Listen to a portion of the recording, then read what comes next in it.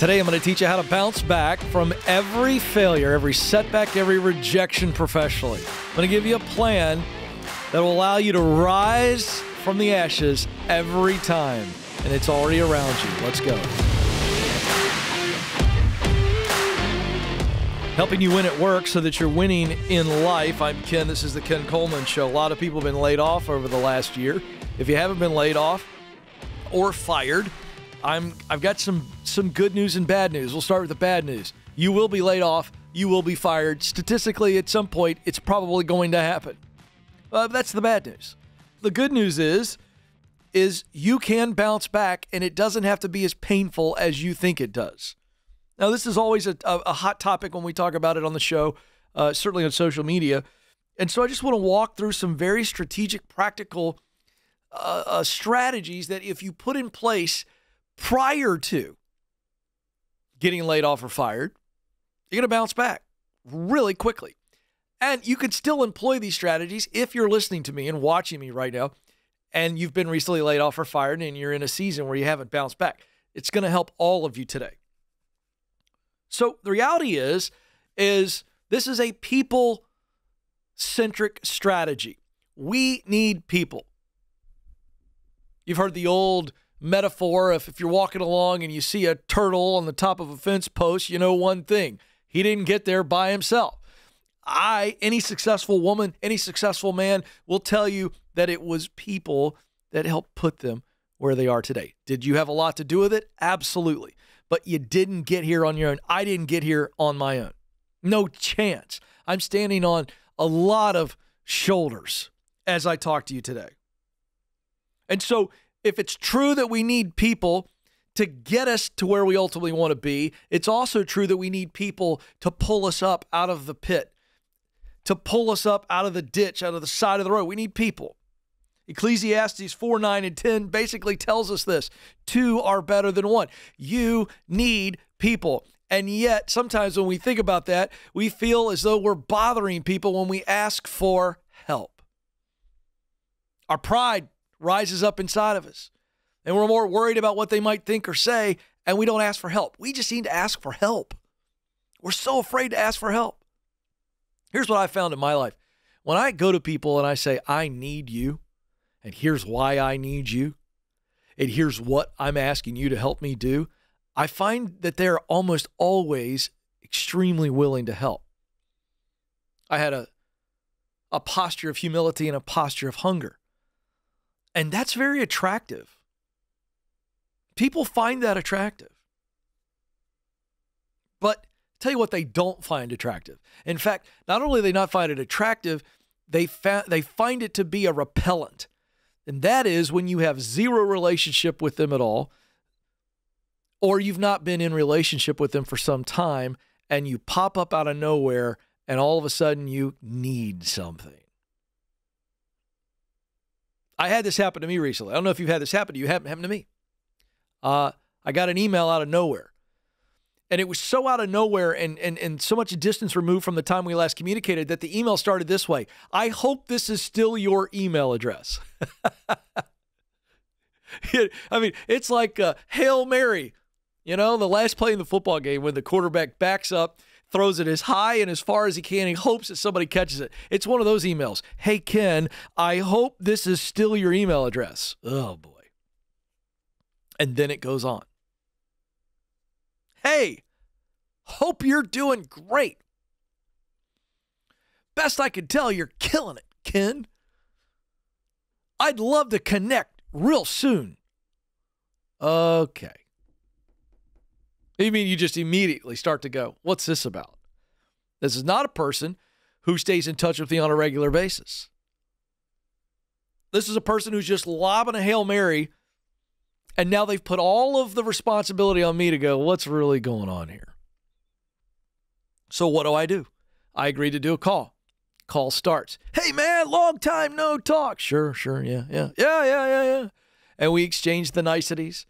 We get a high level catch up. What are you doing? Here's what I'm doing, all this kind of stuff. And then it happens. The ask. Now, there's still a way to do that the right way. But all of the fake niceties hey, I just want to connect. Spare me all that. Just tell me what it is that you want. But that's not the best way to go about it. That feels really slimy. It feels disingenuous. And compare that, contrast that to a feeling of appreciation.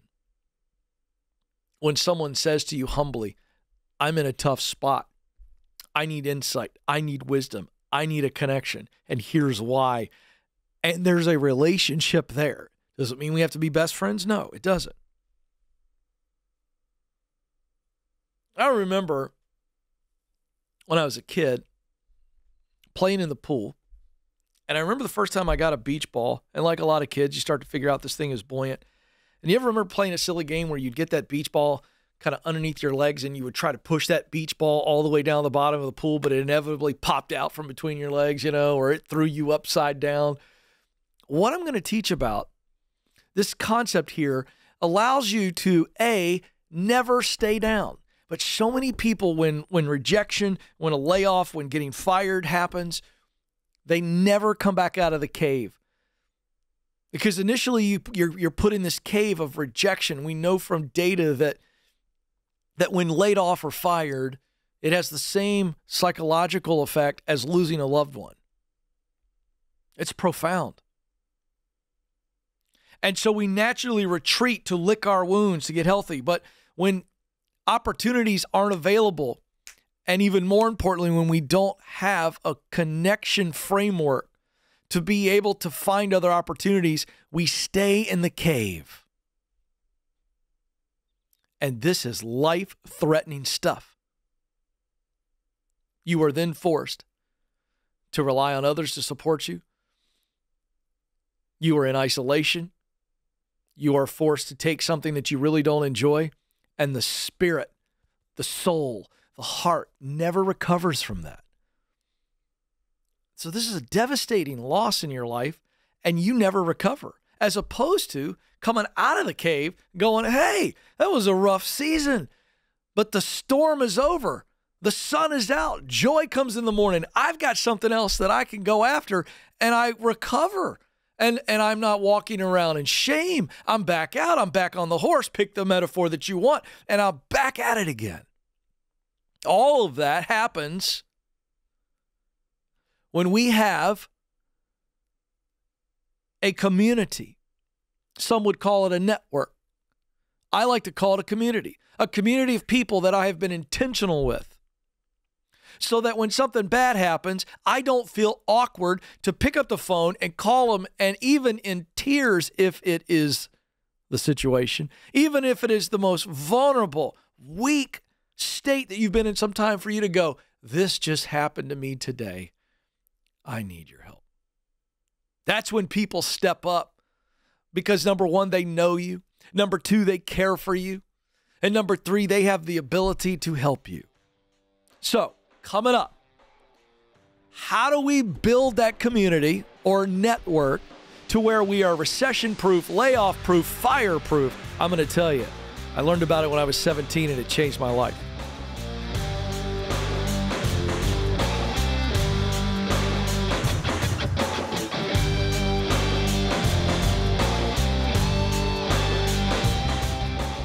Do you know what you were born to do? In order to get hired at a job you love, you need to get clear on your talent, passion, and mission. That's why our team created the Career Clarity Guide. In just a few minutes, this free tool will walk you through a process to discover what you do best, that's your talent, the work you love to do, that's your passion, and the results that matter to you, your mission. Then you'll feel more confident throughout the job search process. To get started, go to kencoleman.com/clarity. Hey,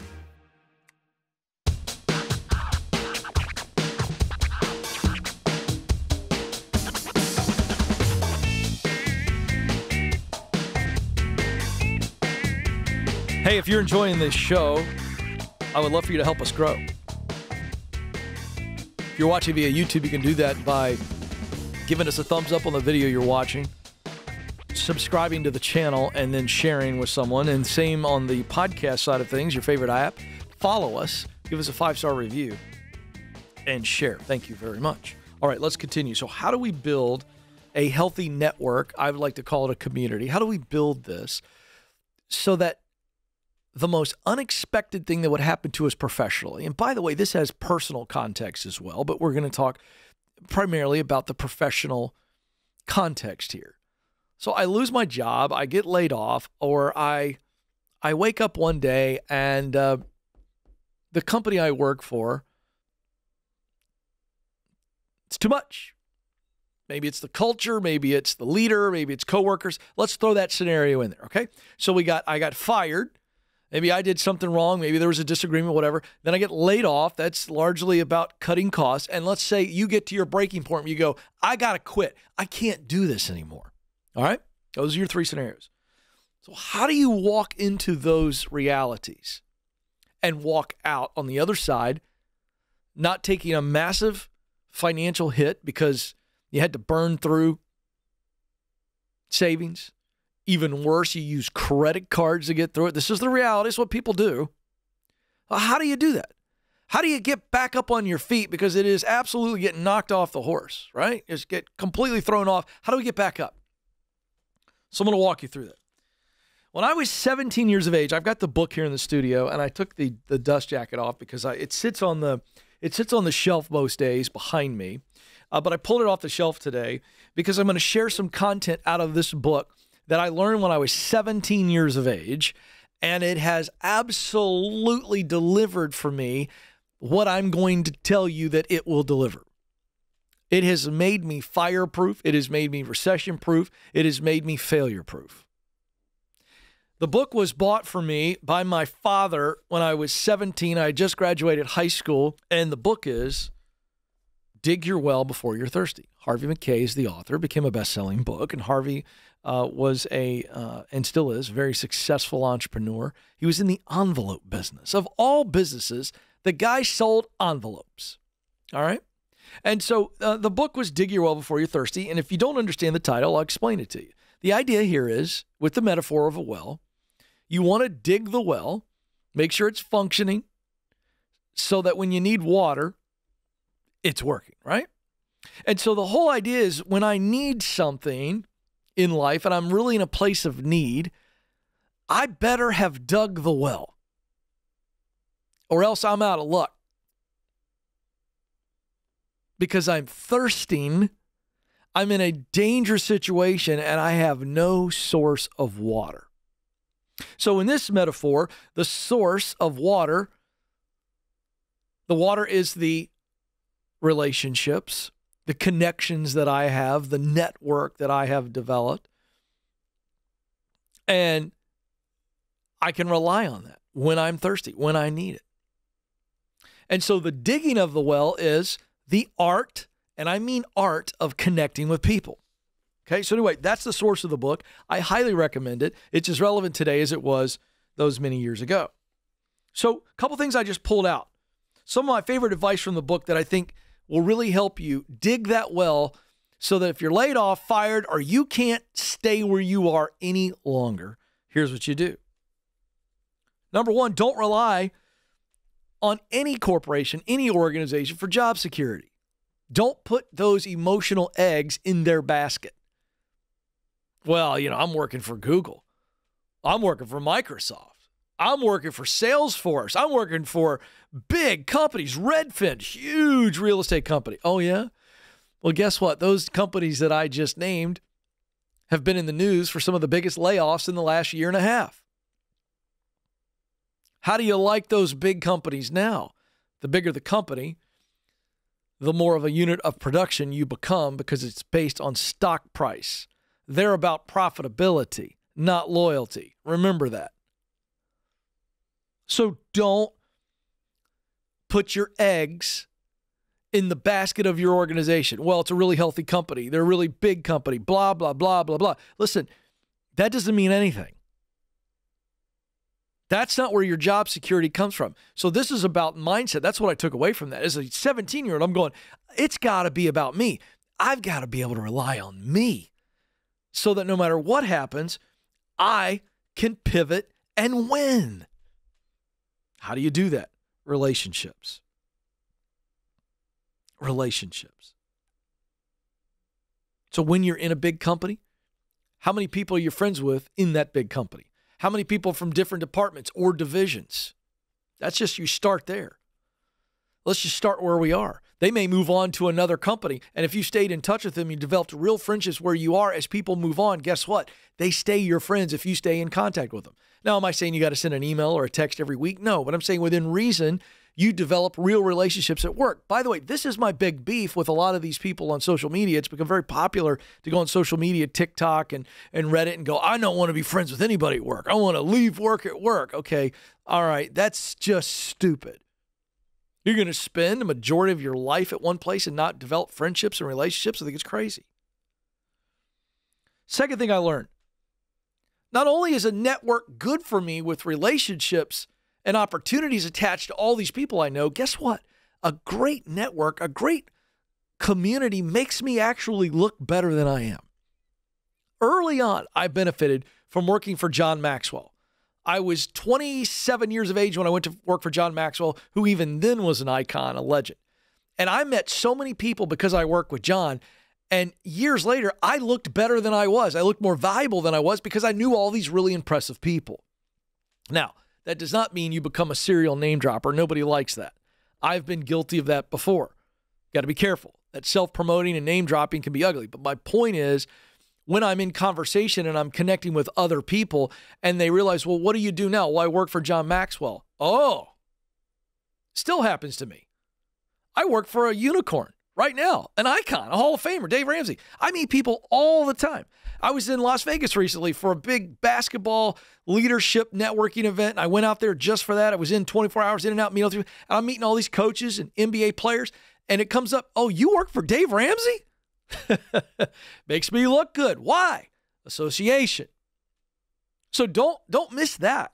That was a huge lesson for me. Third, my network can help other people. It's not just about me. And this is the real reward.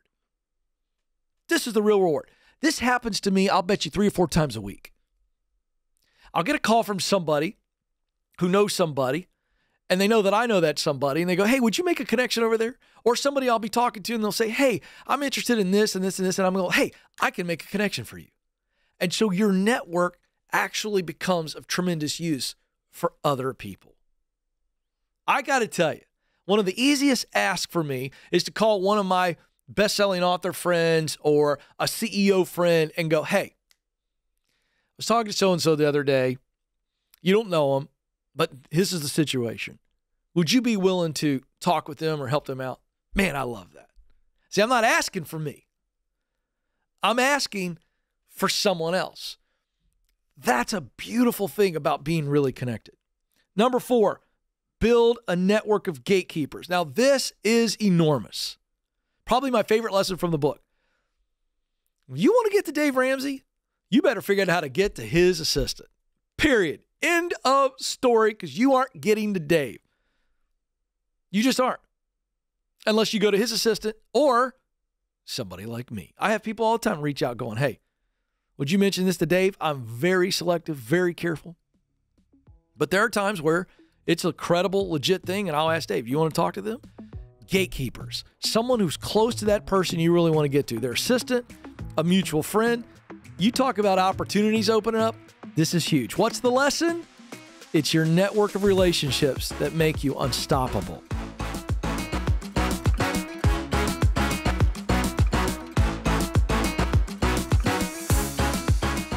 Are you wondering if you should leave your current job or stay put? You're not alone. That's why we created the Should I Quit My Job quiz. In just five minutes or less, this quiz will help you determine if you're at the right company and if you're in the right role. If you need to make a move, you'll even get practical next steps to keep you moving forward.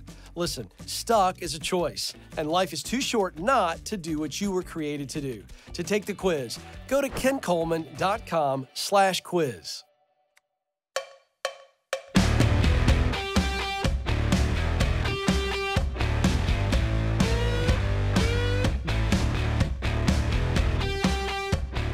Welcome back to the Ken Coleman Show if you are feeling stuck, you feel like you know what you want to do, but you don't know how to get there, or you're feeling uncertain, several ideas, not sure which one to pick. I've got a great resource for you that is wildly popular. It's called the Get Clear Career Assessment. It is an awareness tool that makes you aware of what you do best. That's your talent. Think of those as your superpower tools that allow you to do work excellently and efficiently. And then it helps you identify the work that brings you joy. We call that passion. And then it identifies the results in the world of work that motivates you to get fired up and get out of bed. Nobody has to get you fired up. Motivation is, is not something I can do for you. You can only do it for you. And we call that missional results. So it identifies what you do best, what you love to do, and results that matter to you.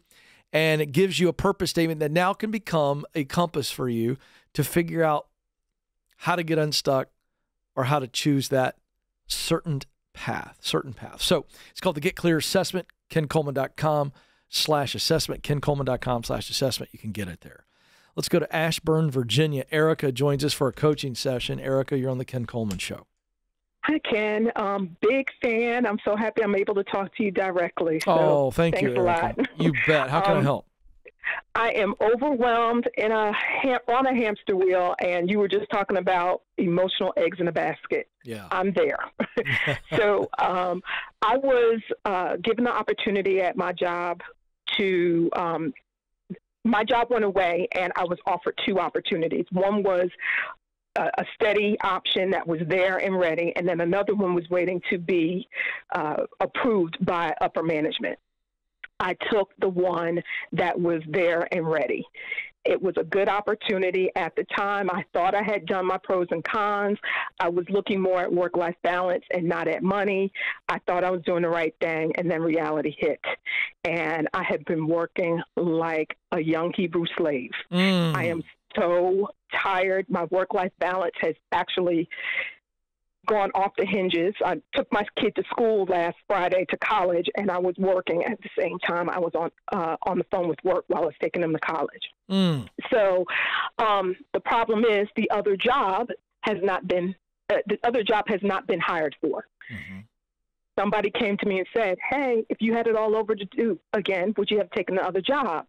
I'm like, "Well, maybe, but who's to say that that wouldn't have worked out?"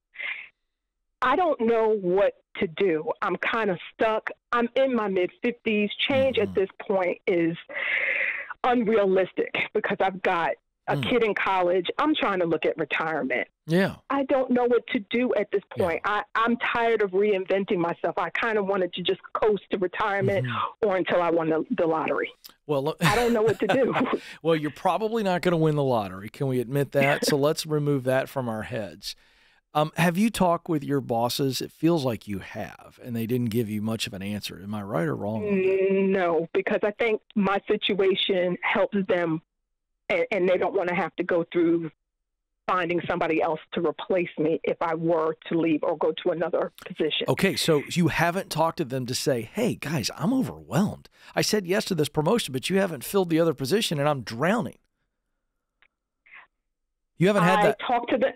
I, I talked to them and they were like just sitting back and listening. They provided no advice or no direction. But did you tell them you were drowning? Yes. Yes.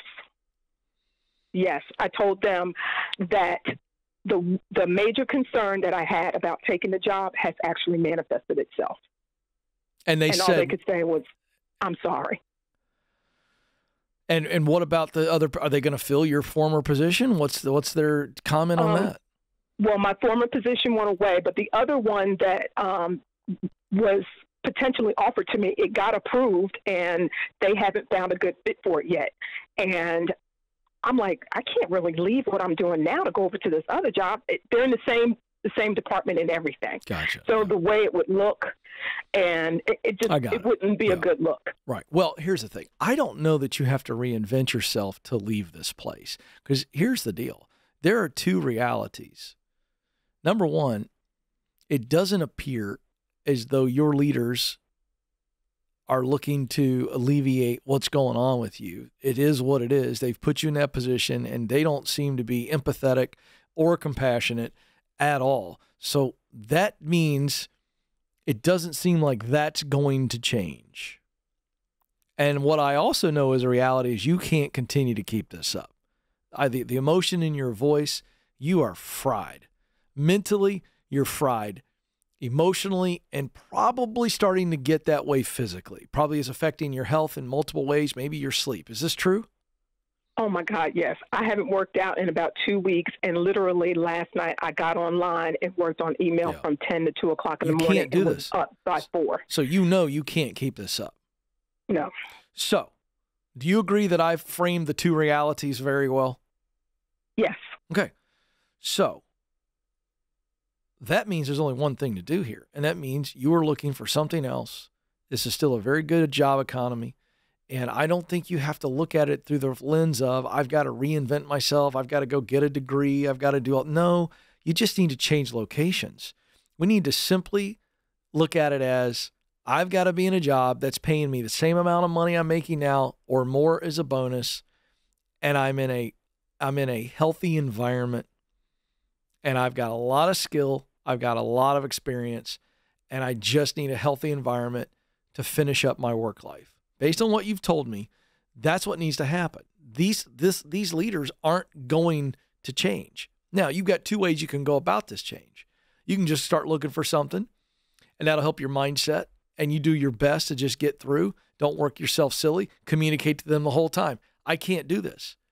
See, I think they're afraid to lose you. I think I think they have to listen to you if you put them in a situation where you don't hold them hostage, but you go, I can't keep doing this. You guys need to tell me some of these plates have to drop. Right now, I'm answering email till two in the morning, and I can't keep catching the plates falling off the cupboard. At some point, I got to drop a plate. You all tell me which plates you want me to let fall.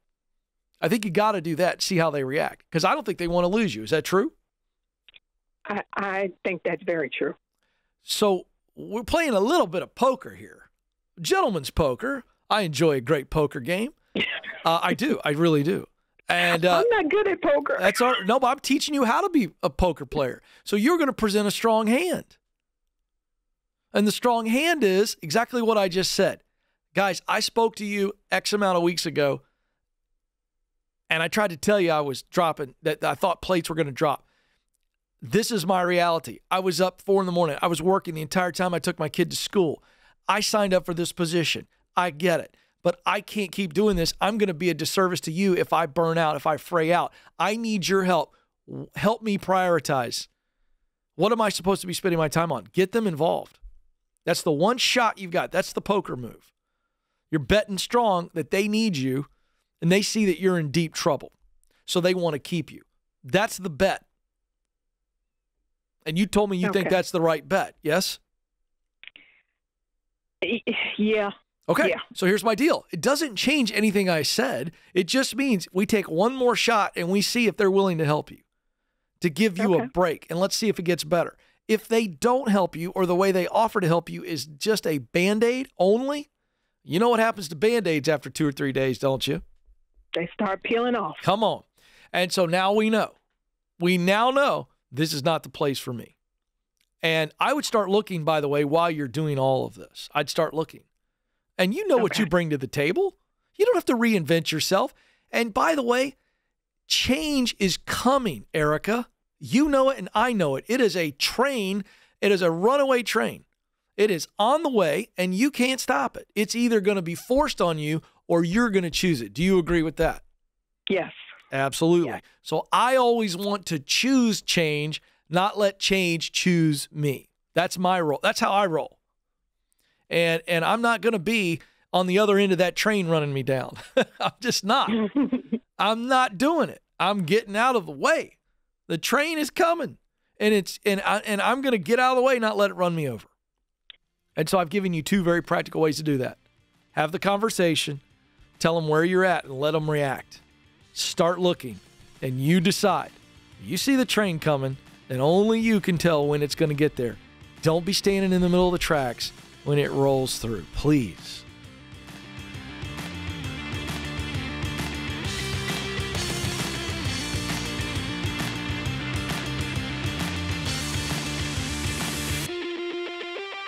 Did you know that recruiters take an average of six seconds to scan a resume? And that's if they ever see it in the first place.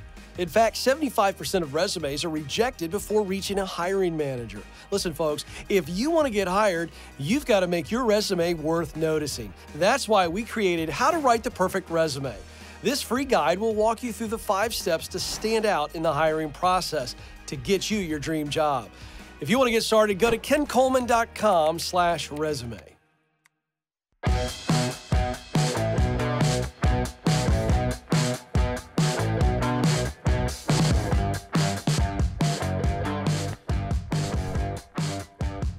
As a man of the people, it is my job to keep you up to date with what's going on. There's so much stuff reported in the news. We have more information coming at us than ever before. And so I try to keep you up to date on the trends at work, what's going on, what could affect you and your livelihood, your ability to earn a living. And so uh, in my hand, uh, this is a bit of good news if, if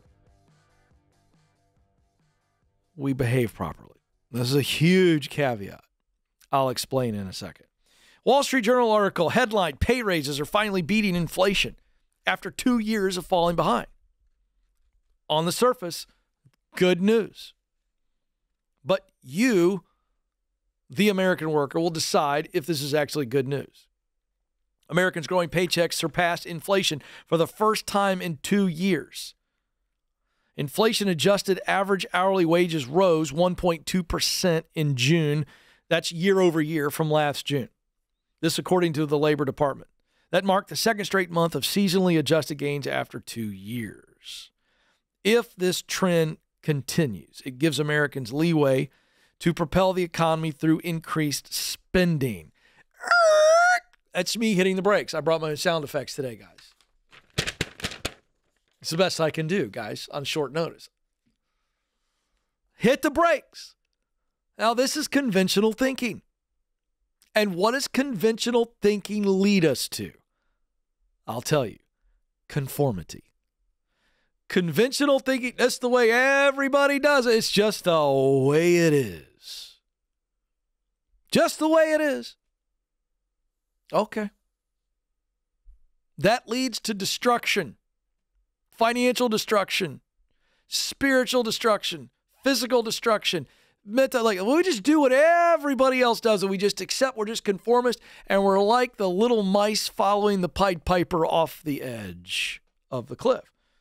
So here's a reporter just writing hey if this trend persists if people start if wages are outpacing inflation people have more money to spend. Woohoo! It's good for the economy. No it isn't because credit card debt is at an all-time high.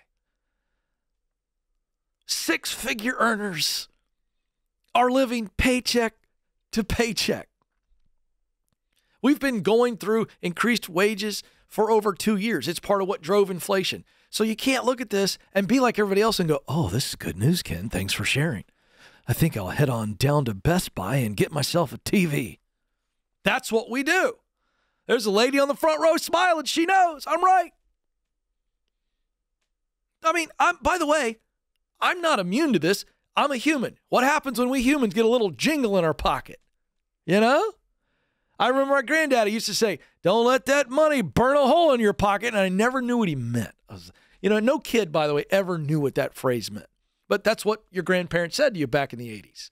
I'm old. Some of you millennials and Gen Z have no idea, have never heard that phrase in your entire life. Don't let money burn a hole in your pocket. What they were saying was, is, hey, hold on to it. Keep it. Save it. So, this is what the phrase should say.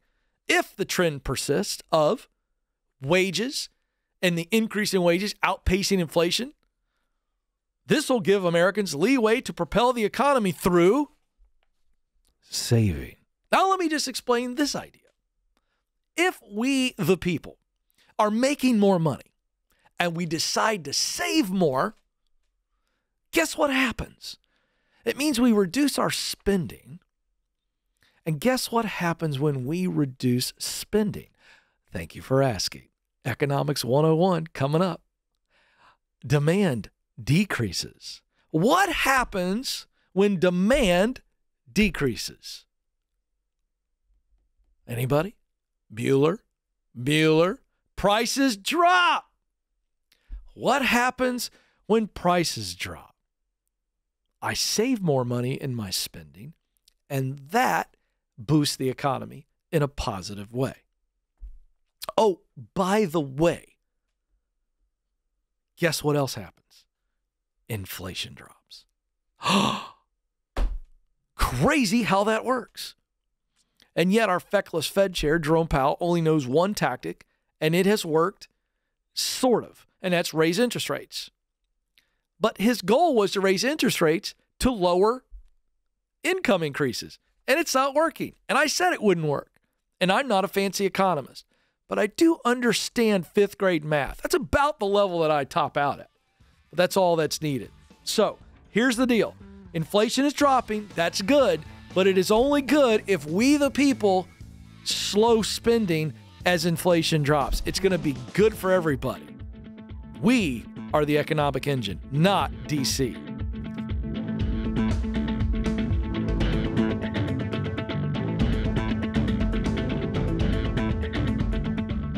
According to Glassdoor, the average job offer attracts over 250 applicants. If you've made it to the interview, you've already made a great impression. So now is the time to showcase how you are the best choice for the role. That's why we created How to Win the Interview. This free guide will walk you through the five strategies to help you stand out amongst the competition. With just some intentionality, you can prepare yourself to win the interview. Go to kencoleman.com slash interview.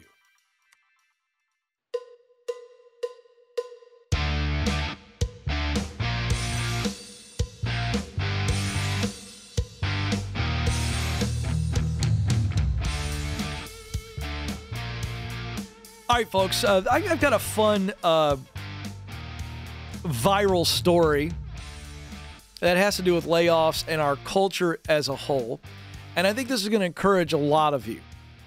So hang with me on this. I'm going to show you something that, that went viral recently, and it's it's all about trolls. So this this this segment's going to be chock full. I'm going to take on the trolls. I'm going to show you a great response that someone gave about getting laid off, high profile person, by the way. And then I'm going to tie it into all of us and how we see ourselves and our self worth related to our income and the work that we do. Because this is coming from a guy who believes we were created to work, period. And there's tremendous purpose in our work. So here's the story. Uh, if you didn't pay attention to this, and, and you know, a lot of news out there, ESPN, the worldwide leader in sports, laid off a lot of people a couple weeks ago, many of which were big time personalities, well known coaches, celebrities, and they laid them off because ESPN's struggling. I'm not going to cover that today. But if you're looking for what I think about ESPN's layoffs, I will give you a little nugget. You can search uh, my show when I talked about Target and Bud Light. That's all I'm going to say. Let you go research that. When you get away from doing the thing you're supposed to do, you go broke. And you know why I watch ESPN? I watch ESPN for sports. I don't want to see politics and social issues shoved in my face. I want to see the highlight of the guy ripping the rim off the backboard. That's what I want to see. You know what I'm saying? That's what I want to see. I want to see the top 10 plays. I don't want to see the top 10 social issues that you're forcing down my throat. All right. Back to the article. Sorry, a little commercial break there. All right. And by the way, if you think I'm crazy, I'm not. It's not about politics, it's about the product, the service that you offer people. People go to Target for a loofah to scrub their back. That's why they go to Target. People bought Bud Light because they want cheap, awful beer. That's it. And you get outside of that, your customer's going to go, ah, I'm not interested. Oh, this is just you know, what what is the purpose? Is the purpose to be political? Or is the purpose to solve a problem? I'm just telling you, there's a there's a whole bunch of people that want cheap, awful beer, and whoever provides it to them without making a political statement is going to win. It's just just a fact. All right. So here we go. So ESPN is struggling. They're hemorrhaging. Why? Because ESPN is all about social issues these days. They forgot what it was about. Guys like me want to watch highlights. All right? That's the bottom line. I grew up on Sports Center. It was the best hour of my life when I was a teenager. All right. Former Sports Center anchor Ashley Brewer was a part of ESPN's latest round of layoffs last month, and she discussed the matter in a recent TikTok video. To which some internet troll, some loser, who has nothing going on in their life that they jump into her TikTok mentions and take a shot at her. And this is what the idiot said. Some loser dude who needs to make everyone else feel awful about themselves so he feels better about his pathetic life. She's on her honeymoon when she announces that she's been laid off. This clown goes in and says, For now, when you're on your honeymoon, real world doesn't exist. Once you get back home and you realize you have nowhere to go and reality sets in, blah, blah, blah. Just nasty. So it got some attention and she highlighted it. So this is what this is what she said. This is her response. I want to show this video and then we'll come back. Watch this. I live by this quote Never let your happiness be determined by something you may lose.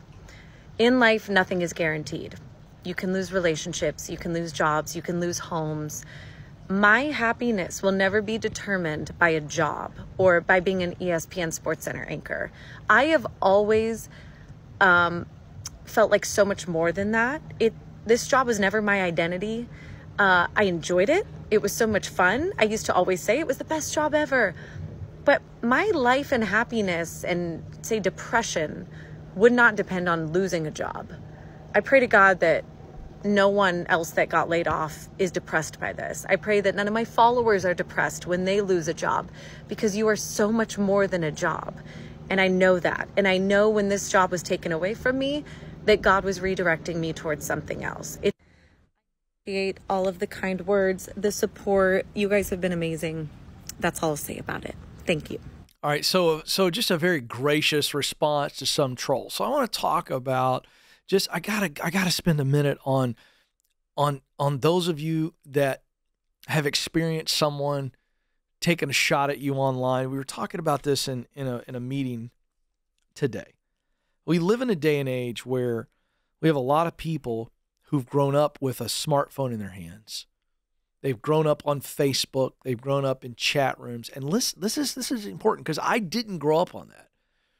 And so I grew up in a world that if I was going to criticize somebody and go after them, there were consequences. If I took on somebody and said something nasty to them, I might get slugged right in the nose. Now, I know some of you snowflakes can't picture a world where you mouthed off and got in somebody's face and they hauled off and and just jacked you up. I mean, knocked you on your butt. I watch all these videos and stuff of these people at protests and people being nasty, getting up in somebody's face, and they have the same First Amendment right that you do, and I would protect both of you, whether I disagree with you or not. I think you should all be able to together. But this idea we get in pe- people's face, that only happens in that format. Those are people that are dealing with rage. Well, back in my day, you did that. Let me tell you something you'd walk away with a nose that had been readjusted.